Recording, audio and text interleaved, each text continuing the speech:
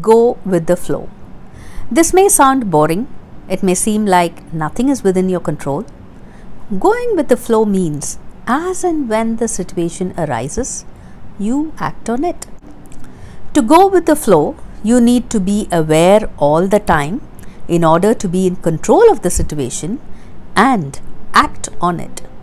If you are distracted, you may get knocked off and drown. Your journey will be smooth when you are always alert. When you go with the flow, you keep an eye on the future and act suitably in the present. As you are alert all the time, you are prepared to act on the situation, you are calm as things are in your control. Others may not find your life to be happening. In reality, you will be moving faster than the others who may be experiencing a bumpy ride as they may not be prepared for the sharp turn ahead on their path.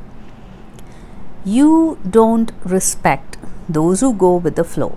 You prefer to row upstream as you think taking up the challenge is the right thing to do. But that may be exhausting. The river flows with one goal to reach the sea.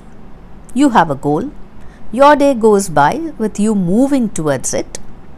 Sometimes you find yourself meandering away from the goal. One day you move forward at a faster pace. On another day, you move just one inch up. There is nothing wrong with this.